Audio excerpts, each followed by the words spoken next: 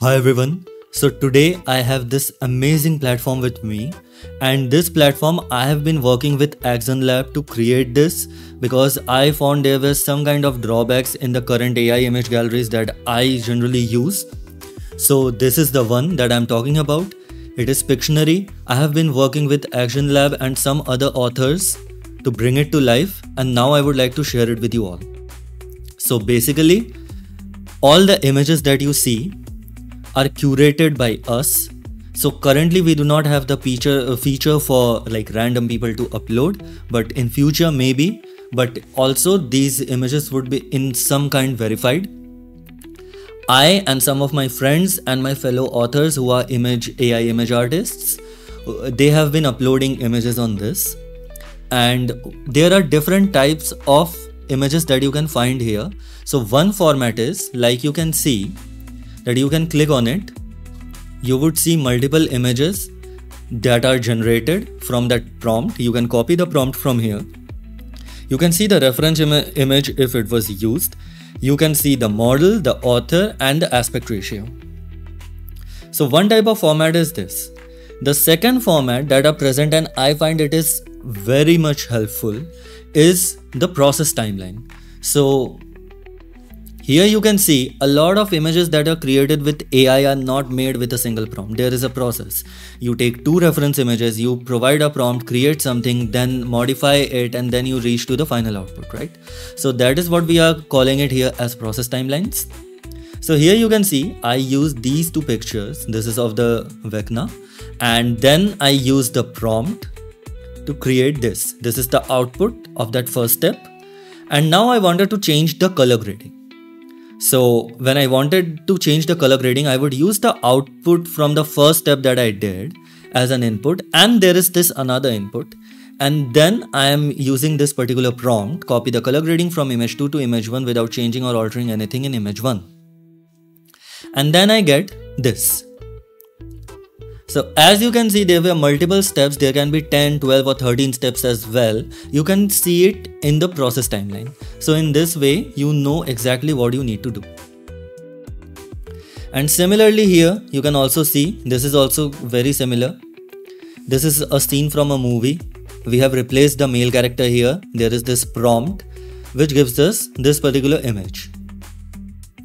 And then I have used this image just to copy the color grading. I wanted something extreme to show how this works.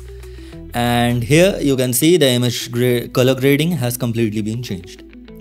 So this is process timeline and I think it is very helpful when someone is trying to replicate a certain output that cannot be generated with one single prompt.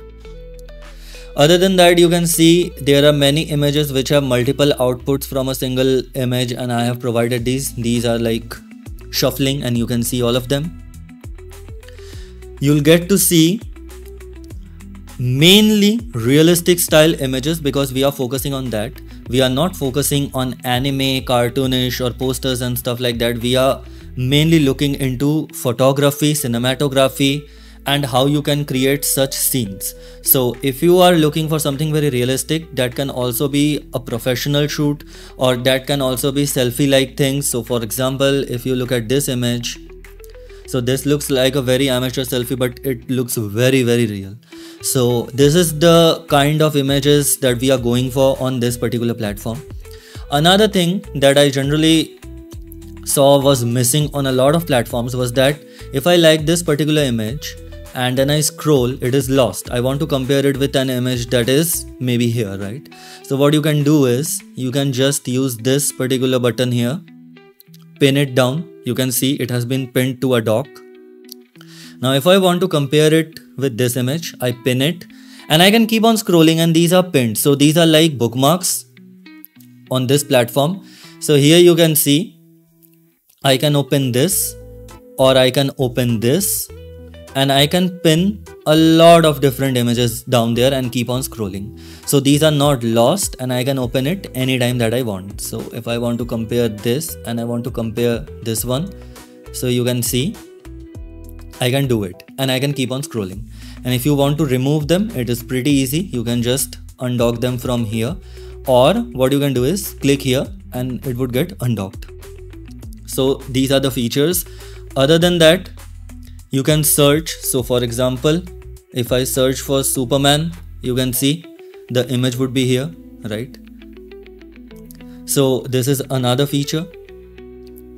Now when you open this particular platform by default it would be set on popular. So how popular works is that these images the ones that are getting most interactions that are popular right now so it is giving a score on the number of interactions that users are having currently and now it gets a score. And that is how it is getting ordered here right? Now if i want i can also change it to latest. And latest is the most recent images that have been added to this particular platform. So this was the last image added till now. Then this then this. This is how it is working. So if you want you can select any of these and even if you refresh so for example if i reload this you can see. It remembers your particular selection. So if it is the latest that you are going for you will always see latest images. So this selection is persistent. Other than that you'll get all the models. So for example if i select Seedream 4 4k so you can see these images were created with Seedream and there are two ways. So basically if you want you can select all models to come back to this page. Or if you select a certain ratio. So let me select 1 ratio 1 and these are two images. And let's say uh, google nano banana pro. So this is the image that filters by this both. And now if I want I can directly reset it. So by reset it would go back to all models and all ratios. So currently this platform is very new and we are trying to add as much images as possible. And soon enough we'll have a lot of different images and we are planning a lot of different things like uh, giving an option for the users to sign in and save the collections maybe upload because we uh, there would also be a verification process because for now we want that very high quality images come to this platform. This is for that purpose. So generally if we allow people to sign up there can be a lot of random images as well. So currently we are finding a way how we can filter it out. So very high quality images can be uploaded by the users. But once it has been done so i am pretty sure it would help you a lot.